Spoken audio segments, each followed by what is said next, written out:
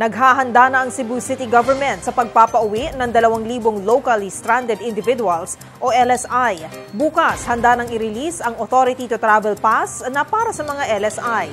At para sa iba pang mga detalye, tutukan ng report ni RH Jovi sa Tinitigan.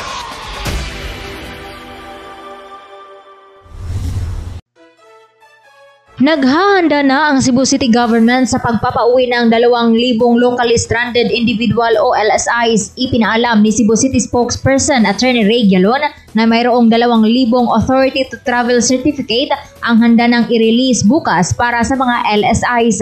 Anya, natapos na ang mga LSIs ng 14-day quarantine at nakakompleto na sa kinakailangang certification.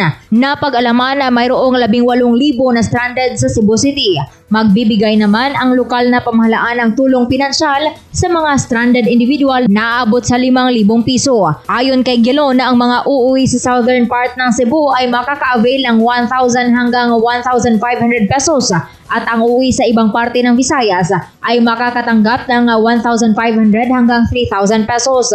Ang mga uuwi naman sa Luzon at Mindanao ay mayroong 3,000 pesos hanggang 5,000 pesos na financial aid. Para maka-avail ng cash aid program, kailangan ng valid identification card na mayroong kompletong address, kopya ng travel authority na inisyo ng PNP at certification ng barangay sa Cebu City kung saan ito nakatira. Ang PDF form na document ay i-email sa project.spgarcia at gmail.com.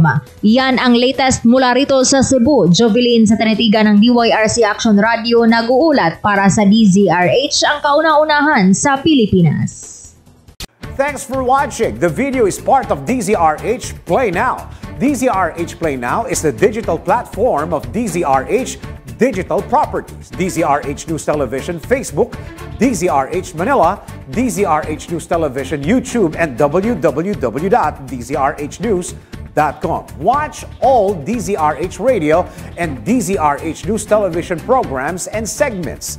Magkaroon ng access sa lahat ng DZRH digital exclusives, news, programs, and special reports. Maging maalam sa mga nangyayari. Like and follow all these digital channels. Like and follow all DZRH digital channels and platforms and be updated all the time.